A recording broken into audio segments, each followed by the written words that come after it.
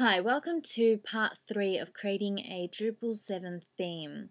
Now this tutorial is going to look at creating a .info file, but before we get started what I'd like you to do is just grab a piece of paper and a pen and think about the semantic structure of your website. So how are you going to actually chop up the page? You might have an area that includes the header, um, an area where you're going to have a navigation, uh, where's the main content going to be displayed?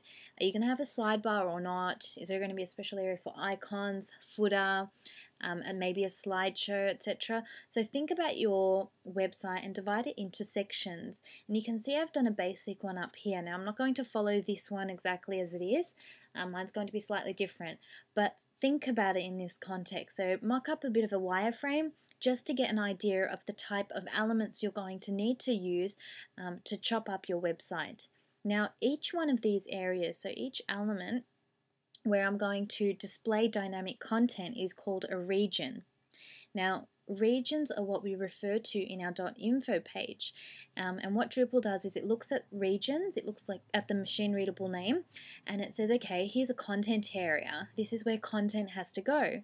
But what you need to do is refer to the word content in your .info page, and then you need to refer to it in your page.tpl, which we haven't created yet, so we'll do that in the next tutorial. Now, once you've got an idea of what your website's going to look like, um, create a .info page. Now, you can do this using text edit, um, Notepad++, or just regular Notepad. I'm just going to use Dreamweaver. I'm going to click on Create a Basic HTML Page. I'm going to get rid of all this script because I don't need any of it. What I need to do is refer to the name of my theme. Now the name and the description which we're going to refer to both show up um, in Drupal. So when you click on appearance and you go to change your theme, you'll notice that it brings up the theme name and a description and a screenshot of each theme. The name and description is being pulled up from this .info page, so you can actually make it look presentable. So it, names like Petrichor don't have to match the theme folder name. They can be uppercase, lowercase, etc. So I'm just going to call it Petrichor. It's the same theme name, but I'm just using a capital P. I'm going to refer to description and the description should actually cover what the theme actually looks like. So if you're creating like a corporate black, white, um, and grey theme, you would talk about that. Um, if it's a one column, two column, three column layout, is it fluid or fixed? So just put a brief description in this area. So I'm going to create a red and white one column fixed width layout. Okay.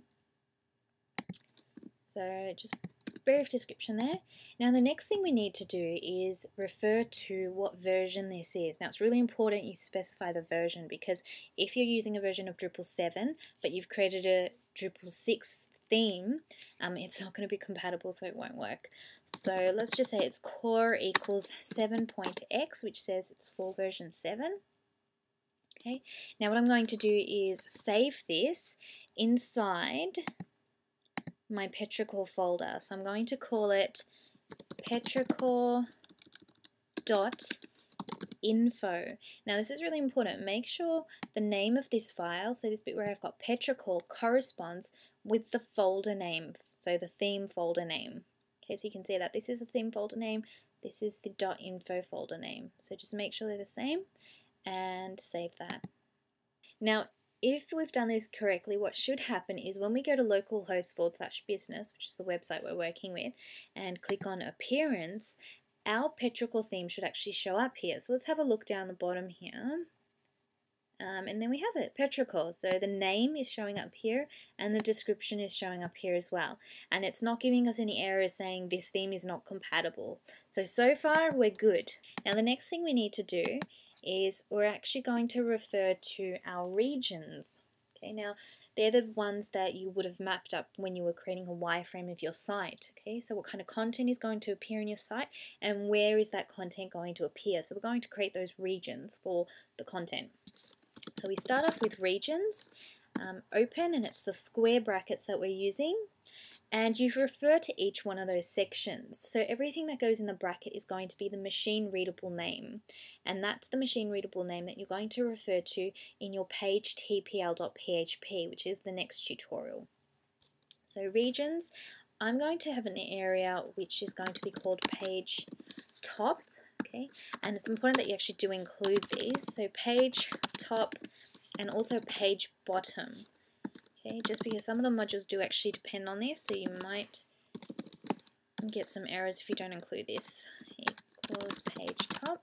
So everything after the equal sign is just, you know, the human readable name.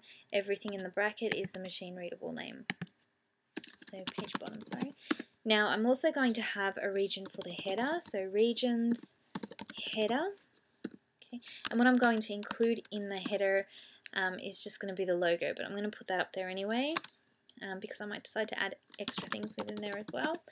I'm also going to have a region for a slideshow. Okay, so I'm going to create one called slideshow.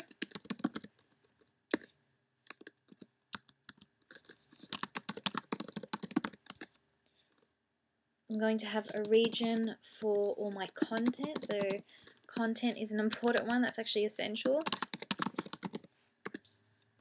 I'm also going to have one for my uh, main menu. So I'm going to go regions, main underscore menu.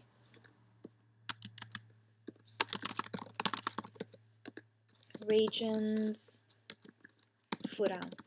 Okay, these are just the basic ones I'm going to create for now. If I want to add some to them later, I will. Okay, um, and that's pretty much all you really need to have in your .info sheet.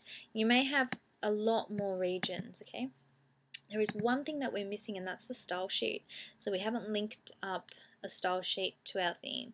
Don't worry about that. We're going to come back to this afterwards, okay? So just save your dot .info sheet um, and let's jump on to the next tutorial.